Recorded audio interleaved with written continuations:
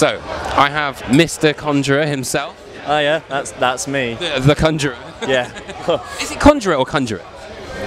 See now that varies. We we say conjurer, Conjurer. but then when we went over to America, they couldn't grasp that. They had no. They were like conj- conjurer. Well, how do you say that? And we're like, oh okay, here we go. Five weeks of this.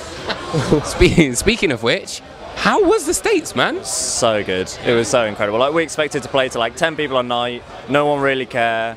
Like be all tired, horrible, hate each other, and then we got there and it was just five weeks of, for me personally anyway, like five weeks of joy. I loved it.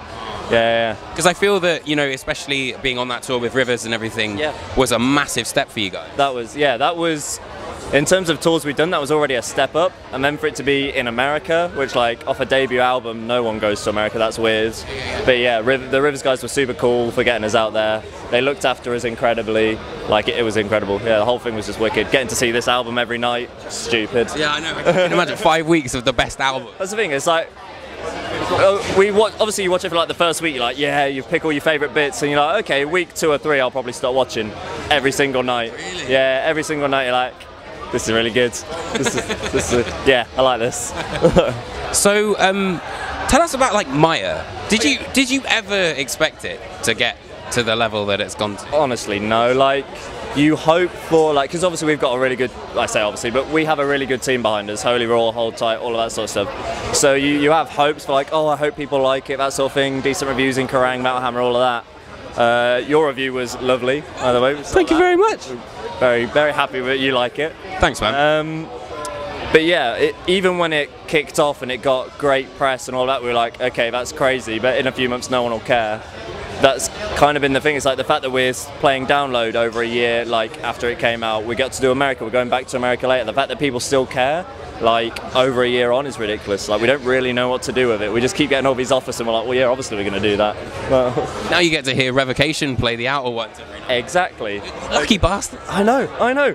We we've done nothing to deserve any of this. Like we were just on tour. I think we were in LA or something when we got. It was like, oh yeah, we've got another tour offer. Oh okay, what is it? We're like, do we want to come back out to America so soon? And it was like revocation. Yes, yes, we do want to go out to America so soon. Um, in terms of the artwork, can you explain what that kind of what that means, what it is? Yeah, so I c- annoyingly I can't remember the specifics. It's effectively it's based off the song Mire. Okay. Um, and it's all kind of it's this old traditional like folk song or poem something like that that Dan the vocalist and guitarist who writes most of the lyrics and that sort of stuff that he was really into so it's all based around that um, so we effectively sent that concept to uh, an artist his name is Rodrigo um, and he came back with with basically what you see we didn't make it that many tweaks or anything like that like we sent him a pic- the bridge in there I think Dan had found a picture of a bridge that he liked, or this bridge is part of that folktale, something along those lines. And so yeah, we just sent him that concept, all based. We sent him that song, poem, whatever it is. He basically, I'm assuming he had to translate it, figured out what it meant, sent us back that piece of art, and we were like, "Well, this is wicked." Like the only things we had to figure out was like, "Oh, well, what color do we want it in?" and all of that. But so yeah, it's all based off of that. And so the song is the Mire, whereas the album's just Mire. So it's not, it's not at least the title and that sort of thing isn't based solely on that song, but a lot of the themes and all that for the artwork do come from that. What Yeah. kind of themes are there on the record? Is it is it a concept album? It's sort of. There's. We tried really hard to make it like consistent and that sort of thing, so that it flows, but it's not really a concept album. There's a few themes of like it's a, it's kind of a sad album, not sad in like a, oh woe is me kind of way, but like there's stuff about like substance abuse, all that. Like Choke is strongly inspired. Dan watched the Amy Winehouse documentary, and that so that's all about the gutter press and that sort of stuff, and how celebrities like Amy Winehouse are unfortunately kind of forced and pigeonholed into that sort of stuff. There's stuff about yeah depression, that sort of stuff. Mire, like I say, is just based on a folk traditional thing. Um, Hadal, the last song, that's just about how deep the ocean is.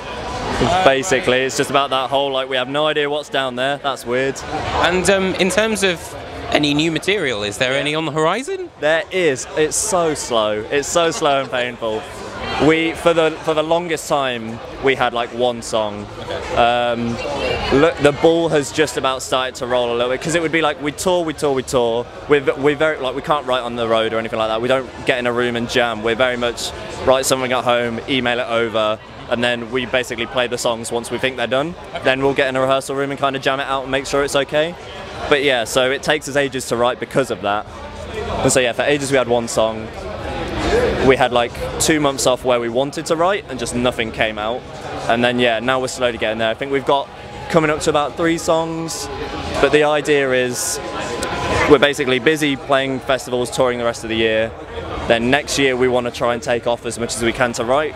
Hopefully get it recorded by the end of next year. If it goes really well, it might even be out by the end of next year. If not, early 2021. But there is stuff on the horizon, hopefully. Yeah, yeah. Things come to those who wait. Exactly. Yeah, it, it's that sort of thing. Holy Roar, and we just recently signed with Nuclear Blast over in America. Like they are being so cool. They're not rushing us or anything. They're not like we need an album now. They're just like, look, take your time, write a good album, send it to us when it's done, which is great for us. Yeah, yeah, yeah. Well, it's incredible. Like, I, you know, you mentioned Holy Roar. I feel like they're a real fertile ground for Absolutely. these new Yeah, yeah. bands. They are, yeah.